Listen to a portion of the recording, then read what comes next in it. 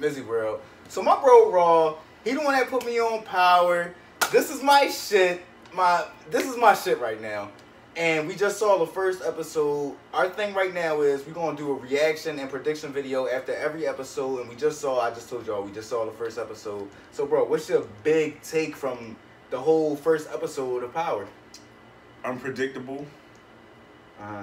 Had me on the edge of my seat. You would sit right next to me. That's that's a fact. That's a left fact. left me with my mouth wide open. Right. Crazy ass episode. Um, disappointed in Tariq, which I shouldn't be. but Right. This is what he do. Right, Every exactly. That's time. true. That's true. Every time. This even nigga. though, it's like, even though a nigga disappoints you every time, you still can be disappointed though. You disappointed me to a level that I thought you couldn't disappoint me more than you did last season, yeah, I mean, Right. but I mean, the, I'm like, I'm disappointed, but it's like this season gonna be fucking lit. So my reaction to the first episode was like that shit was it was crazy to me and honestly I think it's gonna be a bigger rift between Ghost and his son that people think it's gonna be. That's what I think. But um after you saw what what Dre was doing and he got away from the hit and everything, what's your opinion on Dre? My opinion on Dre is that he's always been a bitch, but ever since, it goes to show you that that's how a lot of these niggas in the streets is. Once they get some money and power, Facts. they it goes to their head. Just like anybody with money and power, they they they they abuse that shit. Dre man. is and, and I don't care if you're in the streets, you you work at Walmart, you work at you work anywhere. If you do anything and you abuse your power, you's a bitch. That's just me. Dre's a known bitch from past episodes, and everybody knows this. He got some money, he got some people behind him, and now he think he that boy. Right. But I think I got.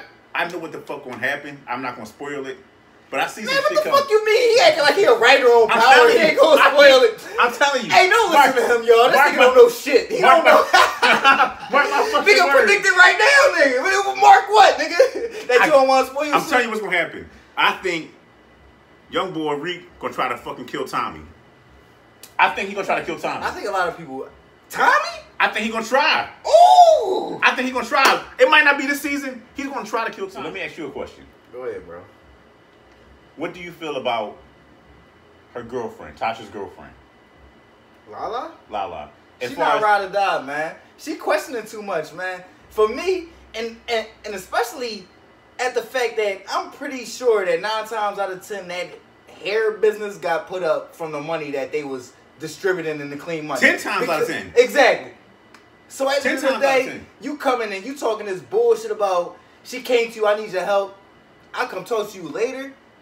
My bro wouldn't do that. She's never been a My rider. bro, my, my bro you wouldn't know do I that. would, but she's never been a rider. I don't She- care if you're a fucking rider or not, nigga. She you just- get beat the fuck up when you die on the field, nigga. Exactly. That's what happened, motherfucker. Ten I'm sorry, man. That's how I rock, man. She's going to always. She first of all, she asks too many fucking questions. Period. She, like let's just bitch. Take this money, If you gonna clean ride- that shit, and rock the fuck out. Shut ride, the fuck up. ride. If you gonna ride, ride. And know what it not, mean? Then shut the fuck And up. I want to speak on this situation. And what what season was it? What was it? The third or fourth episode?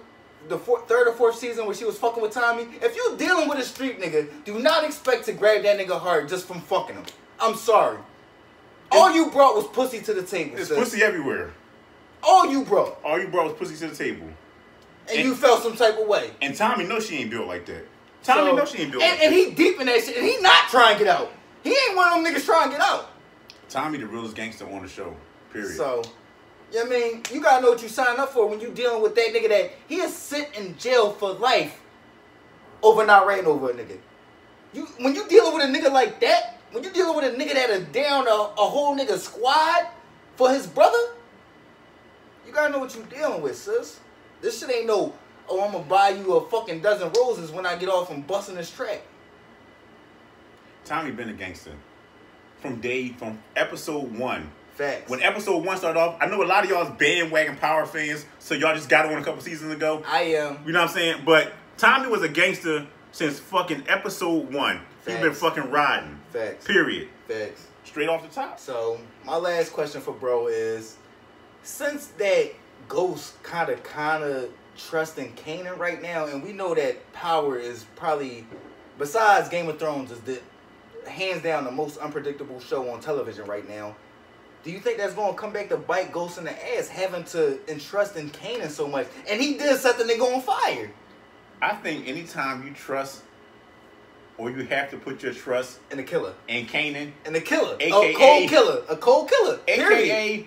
Aka 50 Cent, aka Curtis Jackson. Anybody that you know in your neighborhood, we we all know a nigga like that in your neighborhood. But go ahead. Anytime you gotta put your trust in that nigga, you always gotta look over your shoulder to make sure that you're not being set up as well. Right. 50 Cent riding right now. Kanan mm-hmm. riding right now, I'm sorry. Kanan riding right now. Right. But at the end of the day, you burnt this nigga. Literally. Period. You burnt set him on fire. You meant to kill him. This is a petty ass nigga in the show, outside of the show. King fucking petty. But I gotta say this. He did point out the fact that he did have multiple opportunities to kill both of them and get away with a lot of loot. But and get away with a lot of loot, bro. So it's like, what will be the point of coming back right now? But when he says that, it's like a setup. It's, It's like a setup setup. to bring a guard I down. kinda, I I, know. I kinda gained your trust, nigga. I'm about to fuck you up. But see, what it was was I want the whole penthouse. I want your whole life, nigga. Exactly. Right. This nigga came to your fucking crib. Right, He came to your house right, and threatened your wife right. last Facts. season Facts. and then walked out. Facts. He gave your nigga the fucking lean. That got this nigga went crazy. They got this shit. nigga just doing all this dumb shit So that we mad at. don't- So the last thing we want to touch on is our predictions for next week. And what's your predictions for next week, bro? My prediction is I feel like it's not going to be as action packed Mhm. as this week, only because they still got to throw in what I want to call a paperwork side of it. You Uh-huh. know, as far as like uh, the DA, She was. against- I ain't gonna lie. She the- she definitely was a new character. the, the in. internal affairs lady, she want to get an Angela. You know what I'm saying? You got that Facts. that fucking nut ass uh, Korean or Asian prosecutor, whatever the fuck he is. You know what I mean? He's still holding a grudge against Ghost Right. and Angela. So I feel like you know, and the other boy that's not a lawyer. and I feel like I, I, we gonna speak on that later because that's something I also want to get into is his role in this whole situation. What's your prediction, bro? My prediction for next week, um, I feel as though it's gonna be more uh, action packed. For me and Raw, this is where we disagree. I feel as though it's gonna be more murder. I didn't see nobody get down. I feel as though this was the the light jab. I feel as though they might come with a with a right hook next time. You feel what I'm saying? But that's just my prediction.